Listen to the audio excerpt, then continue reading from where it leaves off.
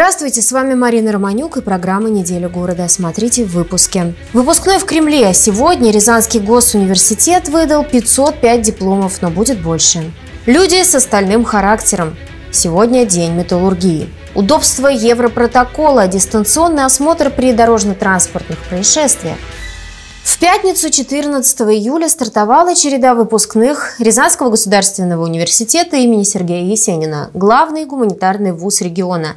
На протяжении десятилетий остается на высочайшем уровне и готовит специалистов разных профилей.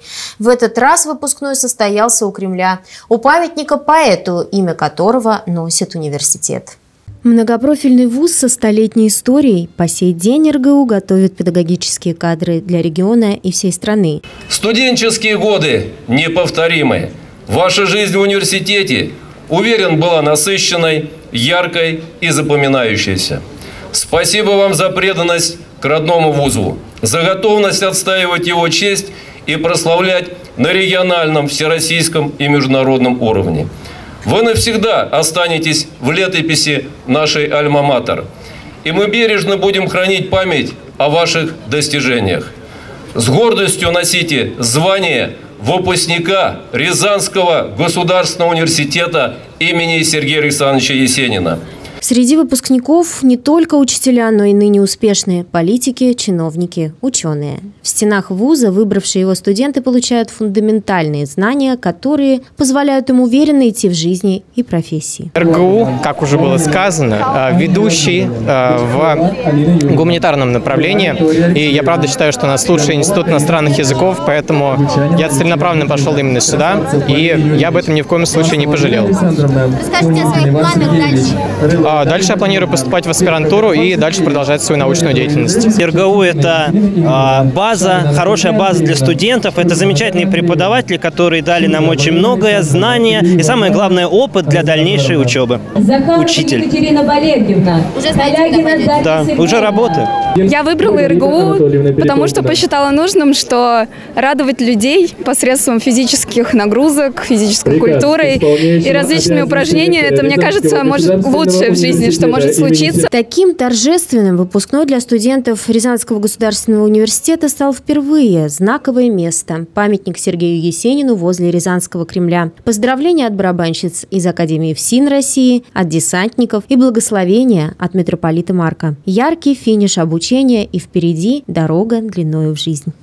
В воскресенье в России отметят День металлурга. Вклад этой отрасли в экономику нашей страны огромен, ведь именно от металлургии зависит промышленность, строительство и топливно-энергетический комплекс. Все вместе они дают больше 50% ВВП.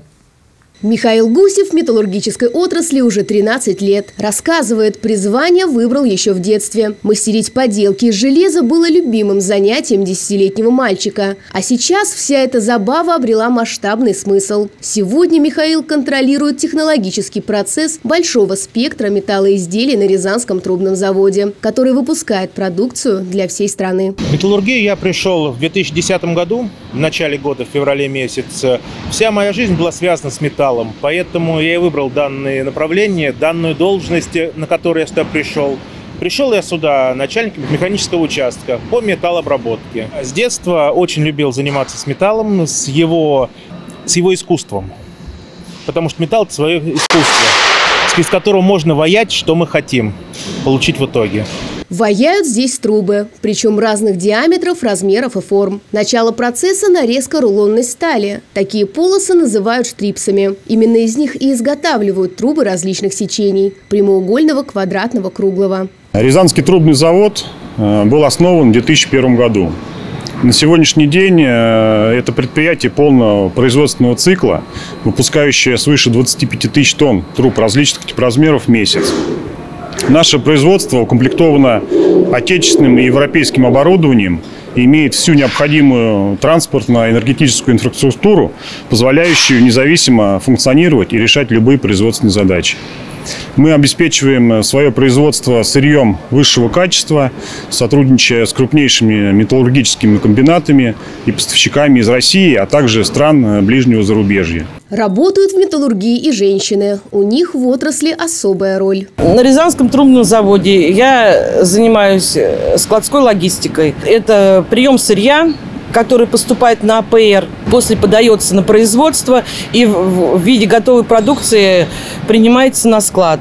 Потом мы это все отгружаем. Металлургия – одна из ключевых отраслей промышленности в стране. Стальная опора экономики – основной драйвер развития строительства и топливно-энергетического комплекса. По сообщению Росстата, в 2023 году российская металлургия адаптировалась к санкционному давлению на экономику нашей страны и продолжает наращивать темпы роста. Именно поэтому сейчас Рязанскому трубному заводу как никогда нужны квалифицированные кадры. Все соискатели могут пройти обучение на базе предприятия. Кристина Бочкарева, Дмитрий Ефимов, телекомпания «Город».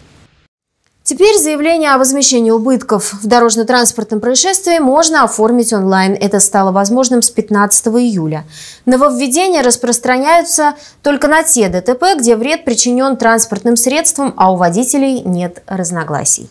Удобство Европротокола признают многие водители. Не нужно ждать сотрудников госавтоинспекции и создавать пробку. Достаточно было записать все в бланк, сделать фото на том и разъехаться. Теперь же процедура эта и вовсе перешла в онлайн. Заявление о возмещении убытков в ДТП можно оформить через личный кабинет на портале госуслуг. Сделать это можно будет через личный кабинет на портале госуслуг, где формируется полный пакет документов, либо э, страховая компания в своем мобильном приложении или на сайте предоставит сервис. Если оба водителя согласны, то можно даже осмотр авто провести удаленно, то есть на основе фото и видеоматериалов от участников ДТП. Правда, для заполнения такого заявления нужно все же несколько условий. Во-первых, если в результате аварии пострадали только авто. Во-вторых, у водителей не должно быть разногласий об обстоятельствах столкновения. А третье условие – на ДТП не выезжали инспектора ДПС. Хотелось бы обратить внимание, что по-прежнему для автовладельцев э, остается право обратиться в страховую компанию э, с бумагами э, в офис, так сказать, очно. Данное право за ними остается. Сотрудники Банка России добавили, что если до конца 2024 года страховые компании именно что предоставляют право обратиться к ним дистанционно, а уже с 1 января 2025 это их обязанность. В целом же, по статистике, за первый квартал этого года рязанцы заключили больше 70 тысяч договоров обязательного страхования автогражданской ответственности почти на полмиллиона рублей. При этом средняя стоимость полиса около 6,5 тысяч. К другим новостям. Заместитель главы Рязанской администрации Михаил Рамодин проинспектировал ход работ по капитальному ремонту участка магистральных теплосетей на улице Урицкого. Все дело в том, что подрядчик уже нарушил все возможные сроки.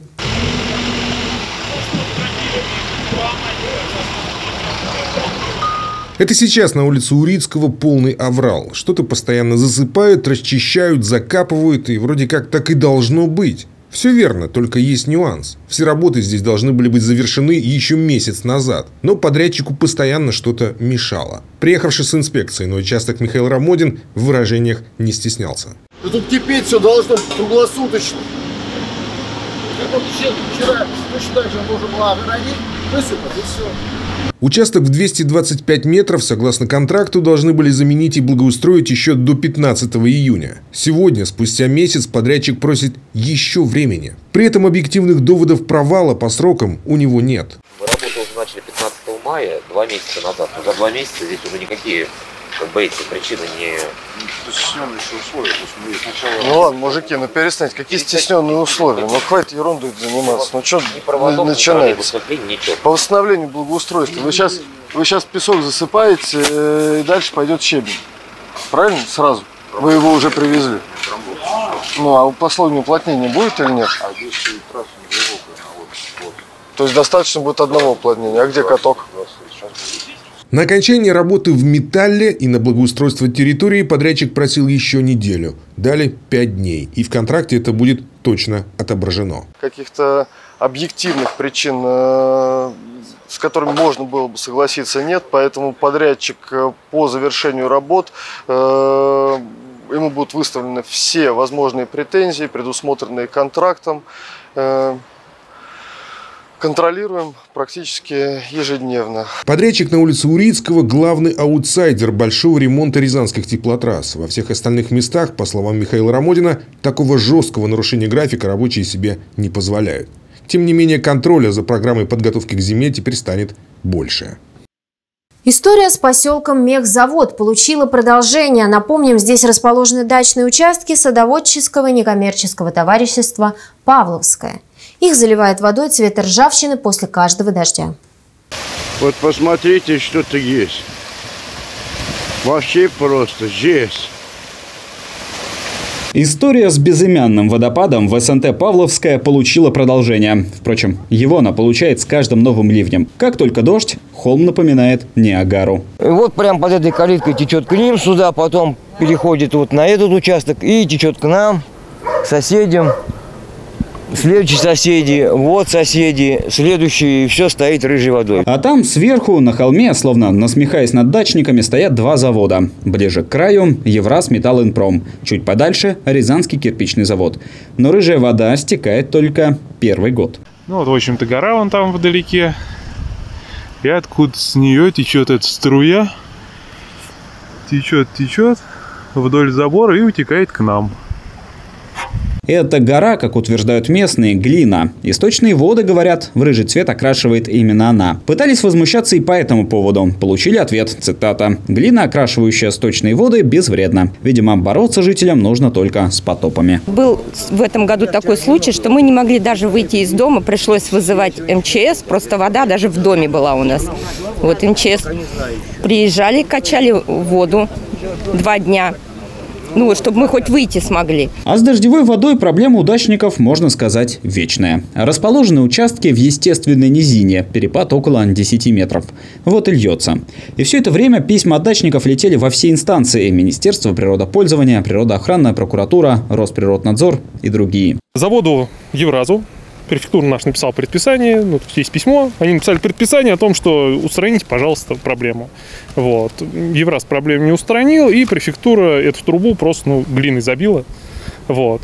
У Евраза начал топить территорию, они сделали еще один пробой, и эта вода все равно идет к нам. Напомним, в официальных ответах от городских ведомств значилось, что в потопе виноваты как заводы, у которых отсутствует или загрязнена система водоотведения, так и сами дачники. Дескать, сами они дренажную систему и засыпали. Мы отправили свой запрос.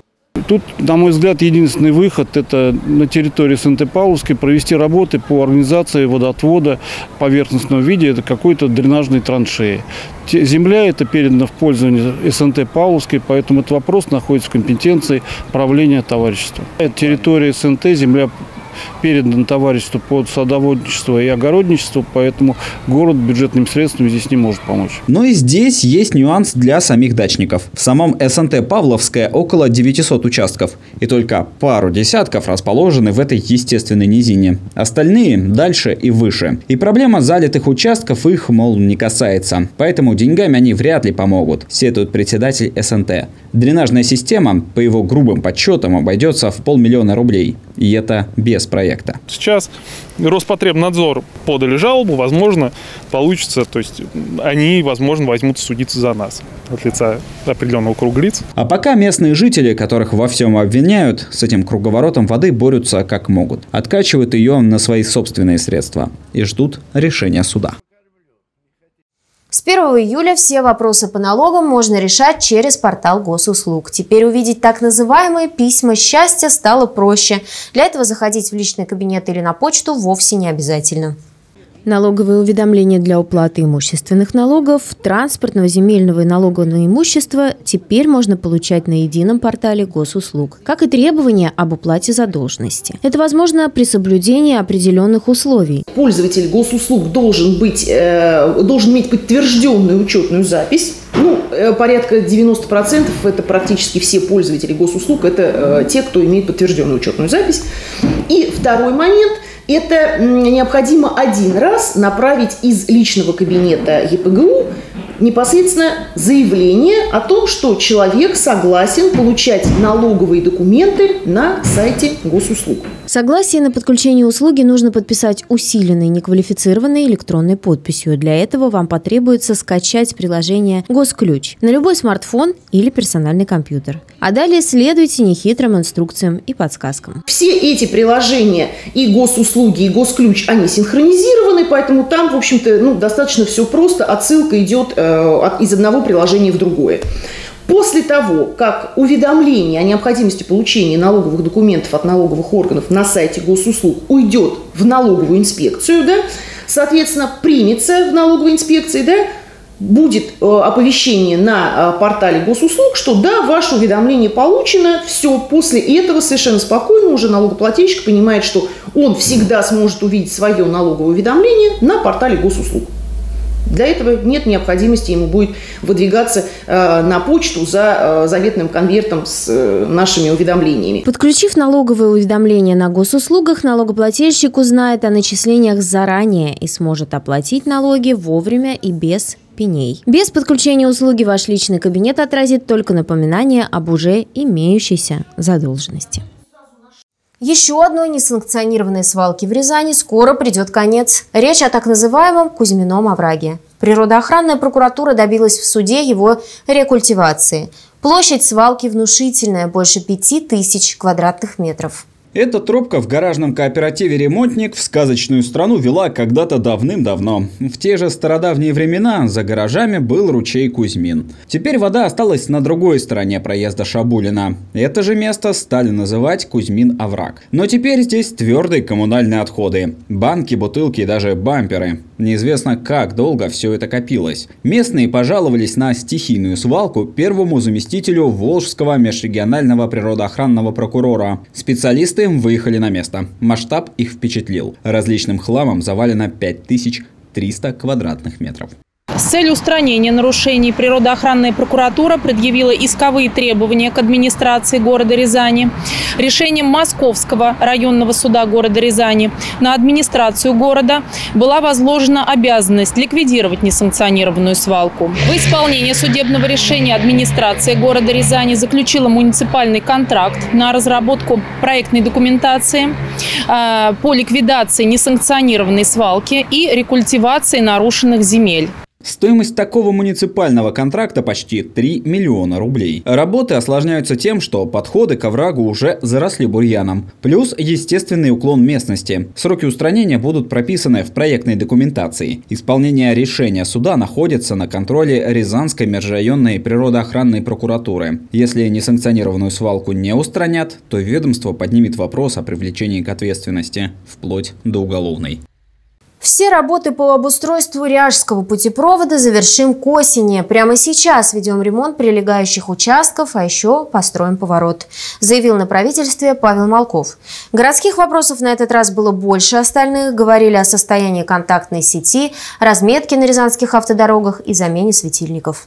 Контактные троллейбусные сети – одна из самых болезненных городских тем. Видео с порывами в непогоду в соцсетях появляются уже регулярно. Изношенность проводов уже близка к 100%, на полную замену нужен минимум миллиард. Первый шаг в этом направлении власти уже сделали.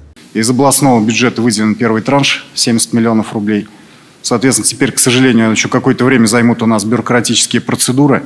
Их нельзя никаким образом обойти, чтобы довести эти средства до города – Думаю, что не меньше месяца это еще займет, но мы здесь все, что можем сделать для ускорения, нужно делать. Виталий Евгеньевич знает, что вы средства эти ждете, готовы быстро работы выполнить.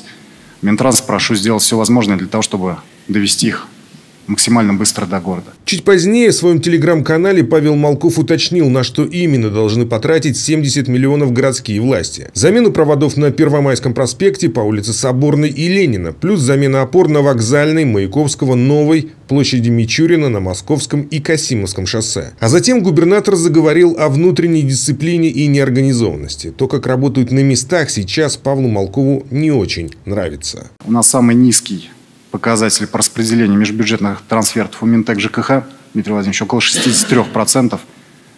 По мероприятиям благоустройства дворовых э, общественных территорий процент еще ниже. И я понимаю, что здесь причина в том числе и в несвоевременной подготовке муниципалитетами проектно-сметной документации. Иногда ее вообще нет.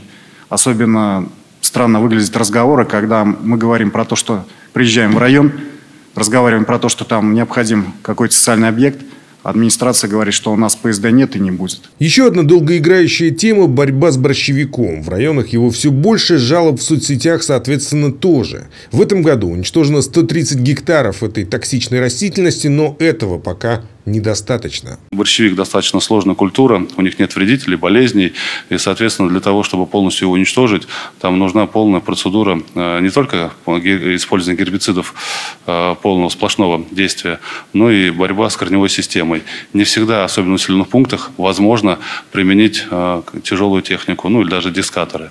Поэтому здесь там идет ручная работа чаще всего, ну а на полях мы применяем технику. Много обращений губернатору в соцсетях оказалось от рязанцев нюансов. Во-первых, по состоянию дорожных знаков и переходу к разметке термопластиком. К осени все должно прийти в норму. Во-вторых, по негорящим фонарям на улицах. Здесь будут менять кабели. Их протяженность примерно 320 километров. Ну и, конечно же, жители города волнуют ремонт на Первомайском. Впереди второй этап. 15 числа мы приступим к проведению этих э, работ у нас будет э, перекрыто движение на Первомайском проспекте от пересечения с улицы Кашириной, от военного госпиталя, э, до пересечения с улицы Пожалостина. Значит, общественный транспорт пойдет по выделенным полосам. На личном транспорте можно будет объехать участок через улицы Семинарская и Каширина. На время, на время ремонтных работ на данных участках будет запрещена остановка и стоянка автомобилей время проведения работ э, около месяца. Просим э, жителей города понять и принять. принять, да.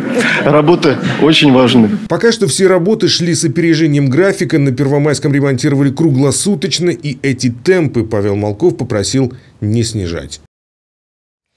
Рязанка своими руками вышила карту региона на льняном холсте. Идея объединила в себе колорит всех районов Рязанской области. За основу мастерица взяла орнаменты народных костюмов, работу закончила за полгода.